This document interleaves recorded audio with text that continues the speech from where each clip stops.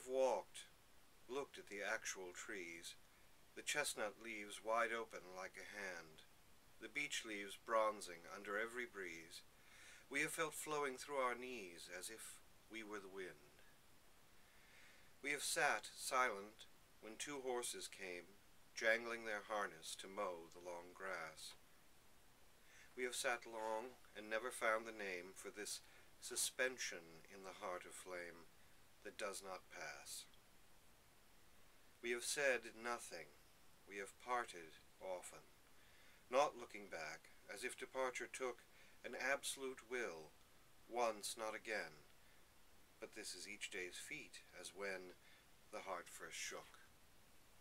When fervor opens every instant so, there is no instant that is not a curve, and we are always coming as we go.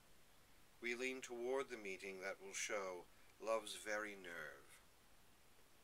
And so exposed, O leaves before the wind, we bear this flowing fire, forever free, and learn through devious paths to find the whole, the center, and perhaps unbind the mystery, where there are no roots, only fervent leaves, nourished on meditations and the air, where all that comes is also all that leaves, and every hope compassionately lives close to despair.